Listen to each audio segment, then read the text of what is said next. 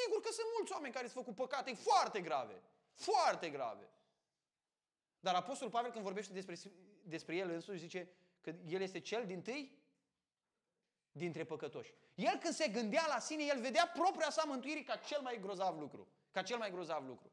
Eu când mă gândesc la mine la, și când mărturisesc mântuirea mea, când mărturisesc lucrarea lui Dumnezeu în viața mea, eu văd vindecarea mea spirituală ca cel mai măreț lucru. Mă, am înțeles că am mântuit pe ăla, pe ăla, pe ăla. Dar faptul că m-a mântuit pe mine, ăsta e lucru de mirat, Domnule. Eu nu o să mă ascund în fața oamenilor. A, că știu eu ce ai fost tu înainte. Oh, nu știi tu ce am fost eu înainte. Crede-mă, am fost mult mai rău decât crezi tu că am fost înainte. Ai intrat în lumea gândurilor mele, ai intrat în, în, în lumea emoțiilor mele, ai intrat în lumea mea lăuntrică să vezi acolo ce nelegiuiri au fost. Habar nu ai. Aici este mirarea. Aici este mirarea. Că El mi-a deschis ochii. Nu s-a mai auzit așa ceva în lume. Ca oameni să facă lucrările pe care le-a făcut Dumnezeu. Și lucrările de mântuire sunt cele mai mari. Lucrările de mântuire sunt cele mai mari. Ca pe ticăloși ca noi, nenorociți ca noi, Oameni care ne-am născut din naștere, ori spiritual. El să ne deschidă? Spuneți dacă nu asta e mirare. Nu asta e mirarea. Mirarea e că te-ai născut orb spiritual. Că te-a lăsat Dumnezeu în acest anfiteatru, natura, anfiteatru al gloriei lui Dumnezeu, orb, orb total, mort în greșele și în păcate. Mergeam după mersul lumii acestea, după Domnul puterii văzut a Duhului care lucrează acum în fine ascultării. Făceam ce vroiam noi ce gândeam noi? Ce simțeam noi? Ca niște animale ne duceam la tăiere. Aici este mirarea. Nu s-a mai auzit așa ceva. Ca pe oameni de aceștia Dumnezeu să-i ridice și să-i mântuiască. Asta este mirarea. Asta e mărturia noastră, dragii mei. Nu că am fost buni, nu am făcut noi chiar lucruri așa de rele și ne-a cârpit Dumnezeu puțin. Nu. Nu. El a făcut niște lucrări care nu s-au mai auzit. Care nu s-au mai auzit. Și a făcut lucrările astea și în viețile noastre, să să fie El. Religia falsă nu înțelege unicitatea lucrării lui Dumnezeu. Dacă omul acesta n-ar veni de la Dumnezeu, n-ar putea face nimic. Auziți ce spune El? Isus este unic. Isus este, tot ce face El este datorită faptului că vine de la Dumnezeu. Vine de la Dumnezeu. Vedeți progresiv. Aici e interesant. Dumnezeu, ascultați-mă, Dumnezeu se folosește și de diavolul. Dumnezeu se folosește de cei mai mari inamici a lui ca să ducă la credință. La început, el spune, omul acesta este un proroc, da? După aceea spune, eu nu știu dacă e un păcătos. Eu știu că mi-a deschis ochii. Mergi puțin mai departe și el discută și cu cât discută cu ei, el își dă seama cine este Hristos cu adevărat. Că spune, dacă omul acesta n-ar veni de la Dumnezeu, n-ar putea face nimic. Vedeți credința lui cum progresează? În ciuda atacurilor lor, credința lui nu scade. Ai fi spus, băi, dacă o, stai tu la masă cu cei mai mari teologi din Israel, cu farisei și cărturari, băi, nu stăteai de vorbă cu oricine. Dacă pe mine m-ar pune ceva cu cei mai mari teologi ai lumii aceștia, probabil m-ar face praf și pulbere la orice, la orice discuție. Vă spun la un lucru care nu m-ar face praf și pulbere. În discuția despre mântuirea sufletului meu. Și ce a făcut Domnul Isus Hristos cu mine? Ascultați-mă, luați cel mai nărod om pe care Hristos l-a mântuit și de care a avut Hristos milă, cu cel mai mic IQ. Și adună toți teologii și toți deștepți din lumea asta care n-au nașterea din nou și îi pun deoparte și vă spun, mărturia acelui om va fi mai puternică decât toate, toate filozofiile și lucrurile pe care le pot debita mintea lor. Da, orba! Eu nu zic că teologia e rea. Ferească Dumnezeu. Ca să facem în fiecare duminică. Ce facem teologie. Teologie înseamnă uh, cuvântare despre Dumnezeu. Dar te- este teologie bună și este teologie proastă. Cuvântări proaste despre Dumnezeu. Rele despre Dumnezeu. Farisei cuvântau despre Dumnezeu?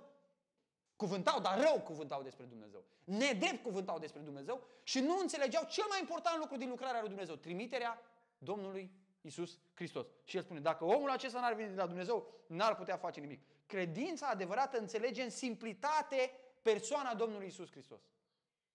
Și ea progresează, ea nu rămâne acolo. Ați văzut de unde a progresat el?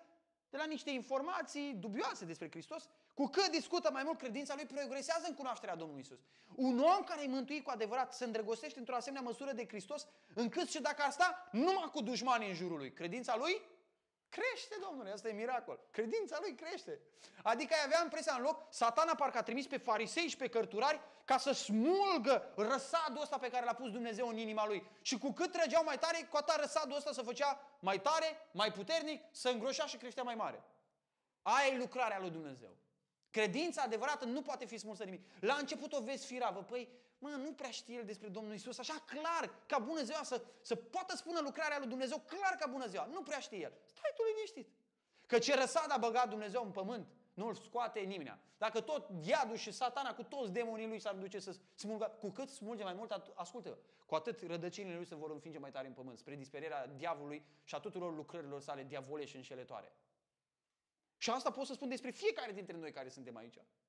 Dacă Dumnezeu a început această lucrare noi, El o va duce la bun sfârșit. Toată discuția lor este despre Domnul Isus.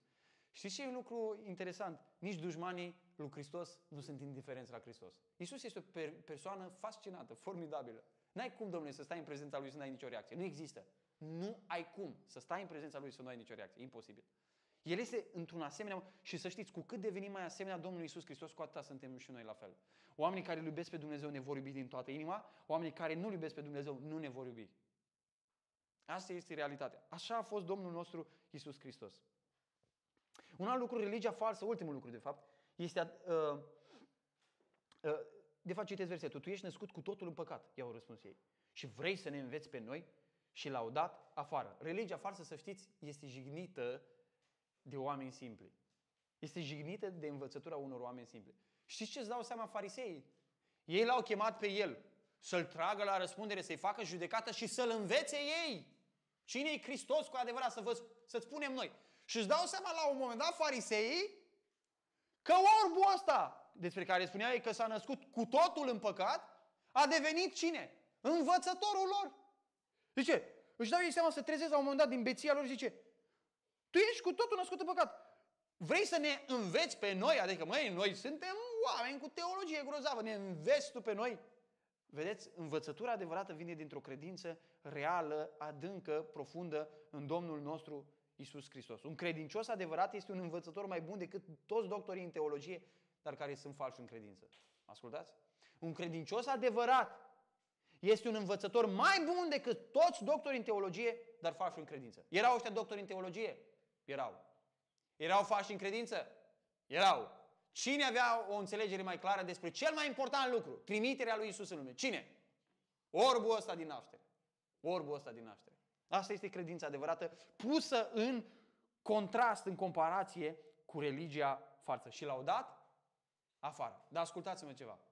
Când te dau afară dușmanii lui Hristos, afară găsești pe cine? Pe Domnul Isus îl găsești. L-au dat afară. Sunt 100% sigur că expresia asta se referă și la scoaterea afară din sinagogă. Ăsta nu a zis, a, mi-mi place de Domnul Isus, dar nu știu exact cine e. Nu! El a făcut niște afirmații tari de tot despre Domnul Isus Hristos. Tari de tot. Pentru că au spus cine va mărturisi că Isus este Hristos, îl vor da? Îl vor da afară. Și l-au dat? Afară. L-au exclus. L-au exmatriculat. L-au expulzat de acolo. Și? Și ce? Când a ieșit afară, vedeți aici e un lucru extraordinar, când a ieșit afară și n-am mai avut legăturile alea de sânge cu părinții lui, nu că n-am mai fost copilul lor, dar n-am mai, n-am mai fost ținut așa, pentru că nici părinții lui de față cu el nu l-au mărturisit pe el, nu i-au ținut apărarea. Când n-am mai avut legăturile acelea strânse cu ei, că și-a dat, orbul ăsta și-a dat seama, băi, ăștia sunt aberanți, sunt absurzi în credința lor, nu pot să mărturisesc niște aberații pe care le spun oamenii ăștia. Sunt și eu iudeu, era și el fiul lui Avram, era din poporul Israel. Ce credeți, că nu mai iubea templul și nu mai iubea cuvântul Domnului și nu mai iubea poporul legământului? Sigur că iubea toate lucrurile astea. Dar și-a dat seama că oamenii ăștia erau într-o prostie crasă. Și a dus afară, ce să facă? E afară. Dar vedeți, în afara sistemului, în afara acestui sistem îmbâxit de oameni neregenerați, necredincioși, neiubitori de Dumnezeu, falși, religioși, obtuzi, încăpățânați, împietriți, în afara acestui sistem fals, destinat eșecului și destinat judecății lui Dumnezeu, în afară ei îl găsesc pe Domnul Isus Hristos. Asta este chemarea în evrei. Ieșiți afară din tabără unde îl mărturiseau pe Domnul Isus Hristos. De ce? Pentru că în tabără acolo au rămas oameni care nu mai iubeau pe Dumnezeu, care aveau doar o formă de evlavie, care aveau doar o religie. Fie ca Dumnezeu să facă acest pasaj pe care îl avem înaintea noastră și care este bogat în foarte multe privințe, să fie un îndrumar pentru noi ca să ne arate ce înseamnă să fim credincioși cu adevărat și ce înseamnă să fim sau ce înseamnă și ce n-ar trebui să fim în ce privește falsa religie de care țara asta este plină și lumea este plină. Întotdeauna lucrurile astea vor merge mână-mână, să știți. Vor fi oameni credincioși care vor mărturisi pe Dumnezeu și vor fi oameni religioși cu o religie, cu o credință falsă. Cu o credință falsă. Dar asta este, asta este, cum zic, minunăția, miracolul, frumusețea vieții de credință. Că Dumnezeu în mijlocul acestor oameni ne-a lăsat. Și pentru mine este un verset din Faptele Apostol pe care tot îl citez și de care vă aduc aminte, care este o foarte mare încurajare pentru mine. Zice la un moment dat, Scriptura, lucrarea lui Dumnezeu era atât de puternică și, am putea să zice, era o trezire spirituală masivă acolo, încât zice așa, mulțimi de preoți veneau la credință. Extraordinar. Mulțimi de preoți veneau la credință. Mulțimi de preoți veneau la credință. Lucrarea lui Dumnezeu e extra, extraordinară. Noi să ținem mărturia simplă în Domnul Isus Hristos, să creștem în credință și să nu ne temem de intemperiile spirituale sau chiar fizice ale vieții acestea. Pentru că ele nu fac decât să întărească credința noastră. Atunci când ea este o credință adevărată. Când nu este credința adevărată, necazurile, uh, uh, lucrurile materiale, toate lucrurile acestea înnăbușe. Dacă nu este un răsad pus de Tatăl Ceresc. Dumnezeu să ne binecuvânteze. Amin.